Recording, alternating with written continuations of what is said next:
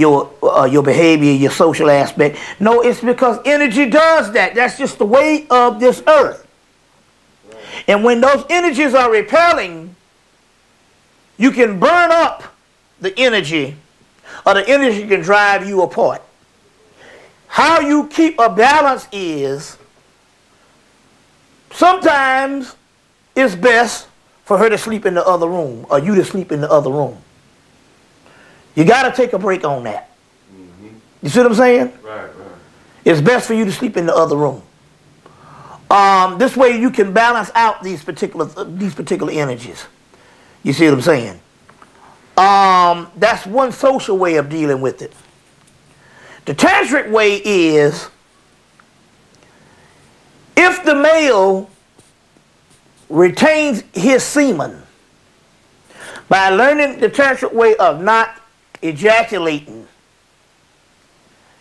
then what will happen here is he will draw in her energy. And as a result, she can draw in his energy because that's just her nature anyway. Um, he will draw in her energy, and by him drawing in her energy, the energy will be a part of him, and it will be stored in him, and the desire will never go away. But too often, his sexual desire for her, every time he ejaculates, he loses that desire. Mm. And that's why you notice some men don't want to touch the woman right after sex. Mm. You see what I'm saying? Because he's lost his energy. So if you can, if you, can you imagine every time you do some stuff, you coming and coming and coming, after a while, you will use up that desire. You see if you don't learn the tantric way on doing those particular doing that doing that particular aspect there is an, another alternative mm-hmm. and it might not be favorable to the western world but we have to consider two aspects of this one is polygamy mm. not necessarily in the marriage aspect right, right. but not necessarily so many multiple partners but you but it would be healthy to have I'm just talking about an alternative. Right, right. Something we don't want to deal with now. I'm not telling you to go out, but I'm just trying to say one of the alternatives is, is to, to balance your thing out with other partners. Mm. Or if not, multiple partners, at least one other partner. Mm. And that way you can keep the flow going and the interest in between the two. It would actually enhance some people's relationship. But this can go all the way too, because usually when we say this multiple partner, I don't want to say the word polygamy or whatever, but I also want to use the word polyandry because it is also to the point where as the woman could very well have another partner too. Mm-hmm. So it's not just a male thing, whereas, um, because we also dealing with relationships, whereas he could convince you to take on a second wife, but this is unheard of when you're talking about going out and doing this particular thing. This is this is this is a part of the ancient system, whereas one of the systems was we know that before there was polygamy, there was polyandry. And polyandry was the woman had multiple partners.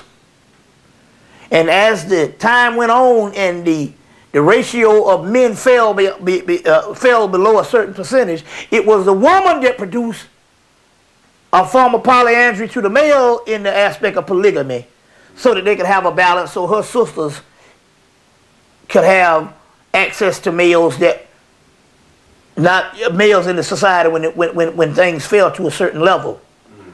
and all and this is did not disturb the equilibrium deep. That's deep. Yeah. You say that. That goes into. Uh, it's almost like being conscious out here. There's not too many. It's an imbalance. Right. I heard last night when you were talking. Mm-hmm. A sister said there's more conscious men. Right. Than there are women. Uh huh. And and the most of the conscious men go after. Well, that's a whole lot of shit. Conscious men go after sisters that ain't conscious. Uh huh. Right. Yeah. You know what? Yeah. Um, uh huh. That's some deep shit. So. Yeah.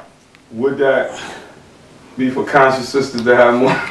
I don't know, man. Uh, we're at an age of enlightenment where all things should be considered. Right, right.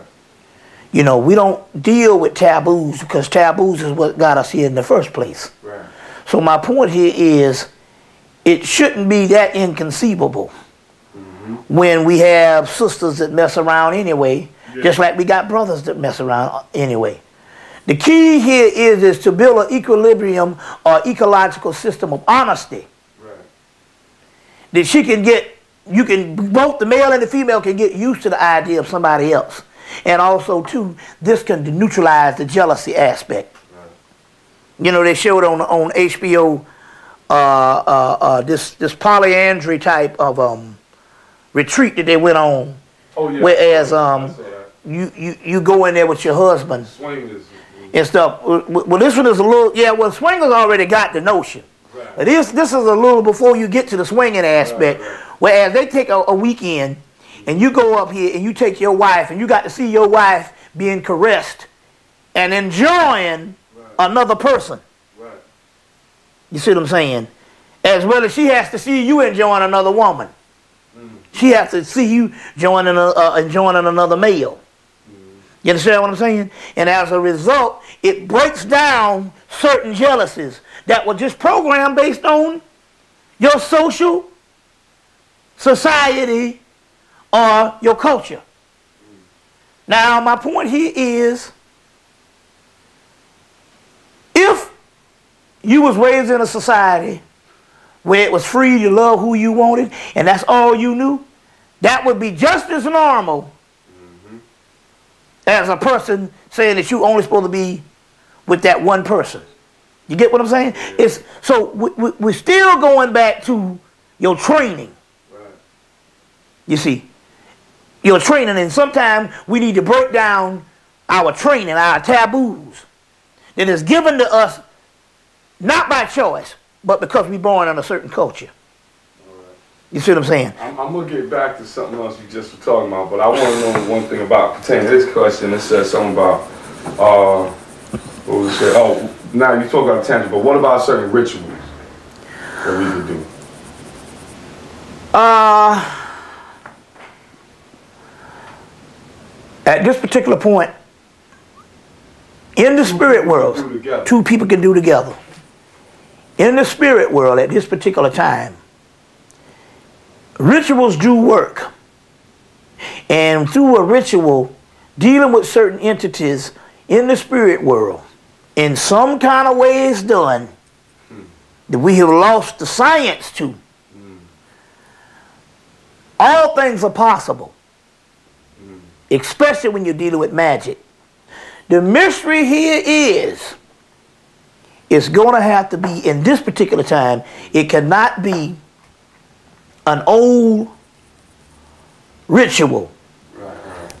Or something or something that is uh, something that is that has been given years ago tried by many people and it's burnt out. Yeah. it has to be a ritual that is made up between the two people and it has to be one that's new so I say again, the best rituals are the ones you create yourself. Right. You say, but how do I have, how do I know it's going to work? For the mere fact you can create something in a ceremony to ask some type of energies or deities or whatever to help you means that it, it's coming from the inside of you and it's your own soul telling you what expressions, you see what I'm saying, and what is needed to bring this about. So yes, you can do it, but the question here is, with rituals, it's not for me to give you what type of ritual. It's for you to give yourself and create what type of ritual because we're dealing with creativity. But they do work with, with they would they, they do work. There's rituals for everything. You just have to make up one. Okay, now they, now we got that out the way. Okay. That goes back to something I made a comment about. Mm-hmm.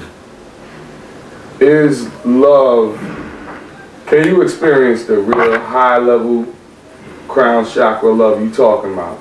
Like traveling through the heart chakra with somebody that's not conscious? Ultimately, no. All right. What can happen is